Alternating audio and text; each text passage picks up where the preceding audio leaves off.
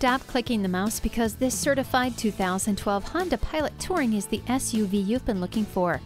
It features navigation, backup camera, and a power moonroof. It also features keyless entry, alloy wheels, and a multi-function steering wheel. And with the rear entertainment system and heated leather seats, this Honda won't be here for long. Coming for a test drive today.